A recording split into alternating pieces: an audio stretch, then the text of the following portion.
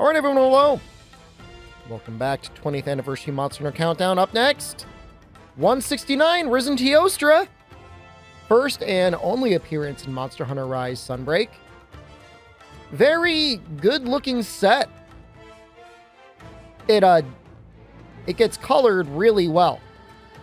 You dye it, your hair changes color.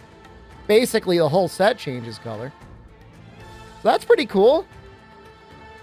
Got a pretty interesting, unique armor skill as well. We got some guy, some muscle dude running around in the back. It's a little distracting.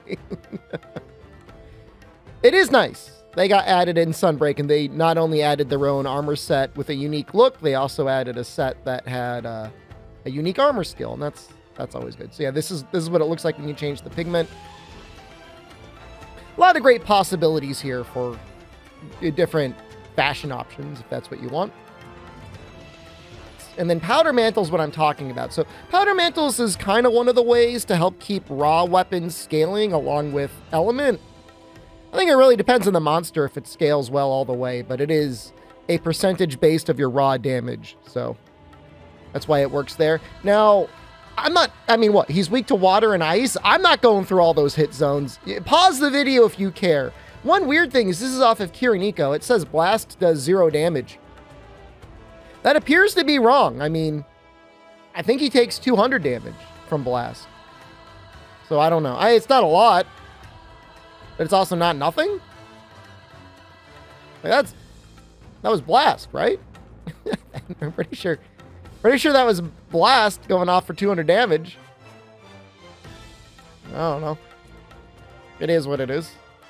But yeah, a nice skill. I mean, you could fit it on elemental sets as well, but the, the one interesting thing about Rise is when you're set building, there are so many, I'm call them interesting skills that, I don't know, unless like you full on save edit your file, you're unlikely to ever get all of them in the quantity that you want.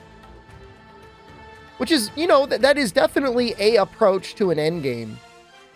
I don't think it's, we, we've never really had anything quite like that before if I had to say what my ideal preference would be, I know I should probably be talking about the monster, but what do you want? I mean, he's he's Teostra, just a little extra spicy. We're gonna show his risen state soon.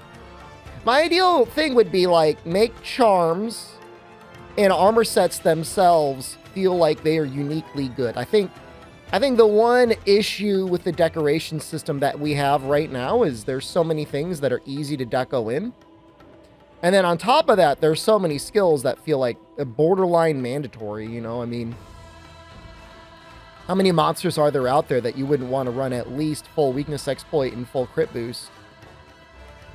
Not many. And it's like you've already got that that skill tax. And when you go back to some of the older games, you know, I mean, either weakness exploit didn't work that way or, you know, it wasn't very easy to get it on there. So you, you felt like you had a lot more flexibility. Uh, basically, it's fun making new weapons and armor. It's not fun ruthlessly grinding for a talisman or an augment roll that you want. And that's just, I mean, to me, it might be for some people you know, I think back to World. You know, World World was a interesting case because like at the end game, you weren't even necessarily grinding for really random stuff. I mean, you know, most of your stuff with how flexible the deco system was, you were able to get a lot of what you wanted just through natural progression. What you really needed to do though, even if you didn't use element, was the the augment farming and the guiding lands. That that got a little brutal. And like, I love mining. I like catching bugs, but boy, the guiding crystal, all, all the little crystals and bones you needed in the end game. I just want to fight monsters. I just want to fight monsters and I want to make weapons. And then I want to fight more monsters and make more weapons. And same thing with armor even in my ideal game, you know, like when I think about it, you know, Monster Hunter 3 Ultimate had a fun system. even then, most of the time I was just using some weird Abyssal Lagiacrus set that gave me Edge Master and Razor Sharp. And then I just played around with whatever the final skill was. So I don't know. I don't know I know what the hell I'm talking about. That's the hard part about game design, man. You can't you definitely can't make everyone happy all the time. It's not possible. But I do think giving rewards for crafting lots of different armor and lots of different weapons. That just feels fun because it's like now you got a cool little thing you get to look at. It's the most tangible thing you can do. Do I think Rise did a good job in that regard?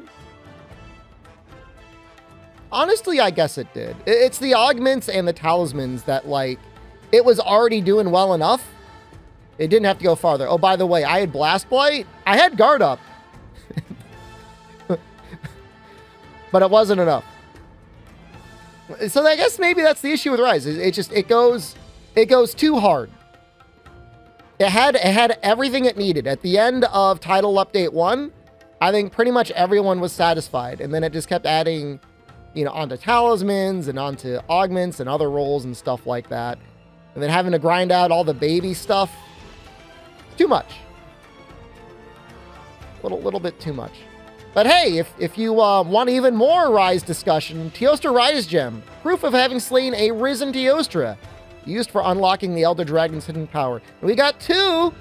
And what's better than one Risen Elder? Two Risen Elders? That's right, tomorrow, Risen Chameleos!